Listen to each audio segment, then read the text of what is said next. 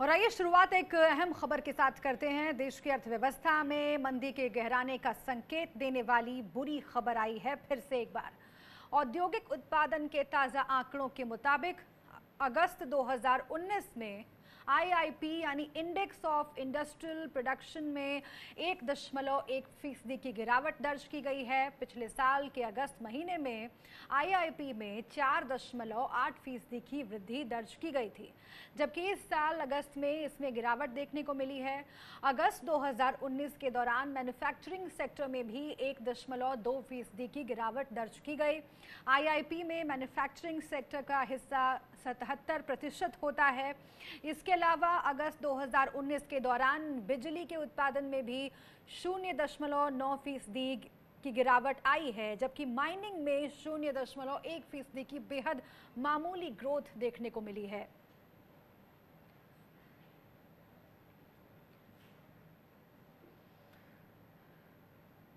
और इसी मुद्दे पर चर्चा करने के लिए चलते हैं न्यूज़ रूम, जहाँ मौजूद हैं हमारे न्यूज़ एडिटर विप्लव राही और सलाहकार संपादक पंकज श्रीवास्तव। पंकज जी।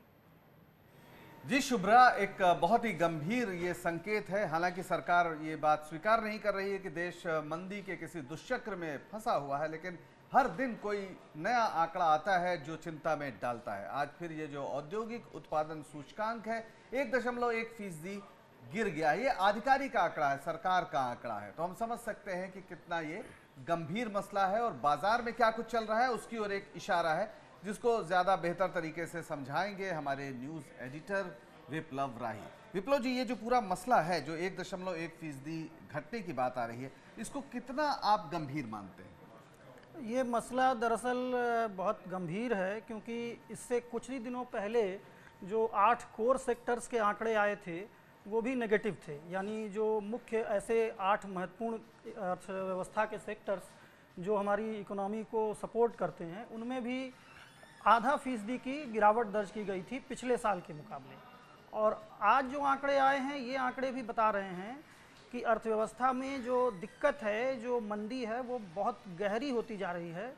क्योंकि अगस्त 2018 में इंडस्ट्रियल प्रोडक्शन का जो इंडेक्स है, उसके मुकाबले 1.1 परसेंट की जो गिरावट है, ये ऐसा नहीं है कि कुछ ही क्षेत्रों में है। जो आज आंकड़े बता रहे हैं कि 23 इंडस्ट्री ग्रुप्स में से 15 में ये गिरावट देखने को मिली है। मतलब ज़्यादातर सेक्टर्स गिरावट के शिकार हैं और ऑटोमोबाइल सेक्टर का जैसे आंकड़ा आता रहा है, आज सियाम के आंकड़े आए हैं, वो भी यही बता रहे हैं। और ये आंकड़ा आज जो सरकार ने रिलीज़ किया है, वो भी बता रहा है कि सबसे ज़्यादा गिरावट मोटर व्हीकल्स में आई है, जो 23 फ़ीसदी की नेगेटिव ग्रोथ है। पिछले अगस्त के मुकाबले इस अगस्त में 23 फ़ीसदी से ज़्यादा की नेगेटिव ग्रोथ है। उसके अलावा मशीनरी और इक्विपमेंट के क्षेत्र में उसमें भी करीब करीब 22 फ़ीसदी, इक्कीस दशमलव सात फ़ीसदी की गिरावट दर्ज की गई है। और तीसरी जो चिंता की बात है, अदर मैन्युफैक्चरिंग सेक्टर में भी माइनस एटीन परसेंट की गिरावट है। यानी ये वो क्षेत्र हैं, मोटर व्हीकल्स को माना जाता है मंदी का सबसे अच्छा इंडिकेटर, क्योंकि अगर मंदी आती है तो लोग सबसे पहले जिन चीज़ों को ख़रीदना बंद करते हैं या फैसला टाल देते हैं ख़रीदने का, उसमें एक गाड़ी है।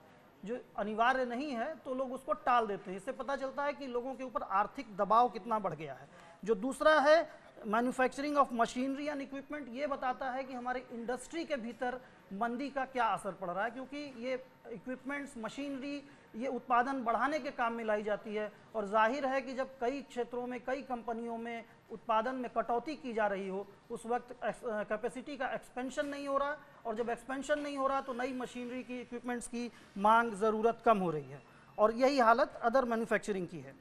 अगर इसको हम दूसरे तरह से इन्हीं आंकड़ों को देखें, जो इन्हीं सरकारी आंकड़ों में अलग अलग ब्यौरा दिया जाता है सेक्टर वाइज उस आ, किस तरह के यूज़ हैं उस प्रोडक्ट के उसके हिसाब से तो इसमें भी बहुत चिंता वाली बात नज़र आती है क्योंकि कैपिटल गुड्स जो सेक्शन है प्रोडक्ट्स का उसमें 21 परसेंट की गिरावट है।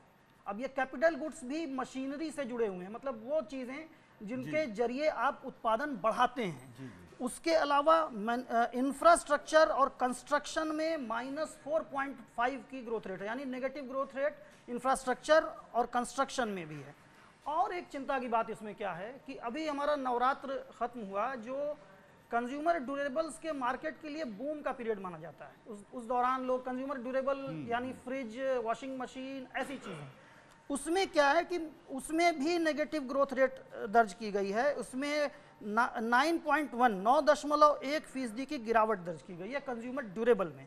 तो इस तरह से अगर आप देखें तो ये चौतरफा गिरावट है, ये कोई एक दो सेक्शंस की गिरावट नहीं बिल्कुल है। बिल्कुल, और ये जो निगेटिव ग्रोथ रेट है, दरअसल यही मंदी की सबसे बड़ी पहचान है, यानी लोगों की जेब में पैसे नहीं है, और बाज़ार में इसलिए सामान भरा हुआ है, लोग खरीद खरीद नहीं सकते। जब खरीद नहीं सकते तो कंपनियाँ नया उत्पादन आखिर करें कैसे? और नया उत्पादन नहीं करेंगी तो फिर मशीनें क्यों खरीदेंगे? तो एक पूरा यह दुष्चक्र है, जो मंदी की सबसे बड़ी एक पहचान है। और सबसे दुर्भाग्य की बात यह है कि सिर्फ़ दो हफ़्ते बाद इस देश में दिवाली का त्यौहार है, जबकि जैसा विप्लव ने बताया कि बहुत खरीदारी इस समय होती है। और इस बार तो चीनी झालरों के बहिष्कार का भी कोई आह्वान नहीं दिखता है चीन के राष्ट्रपति। भारत में हैं तो लगता है कि चीनी झालरों के ज़रिए ही आप इस बार भगवान राम की अयोध्या वापसी का जश्न मनाएँगे। ये है मसला।